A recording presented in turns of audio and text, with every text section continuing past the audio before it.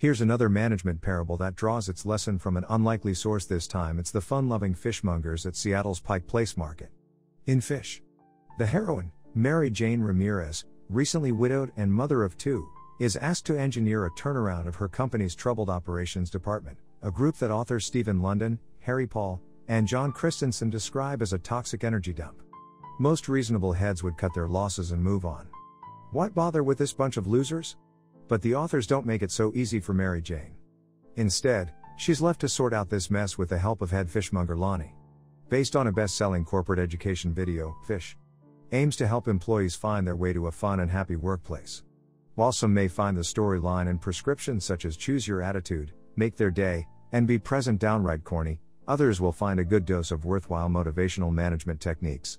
If you loved Who Moved My Cheese? Then you'll find much to like here. Dot.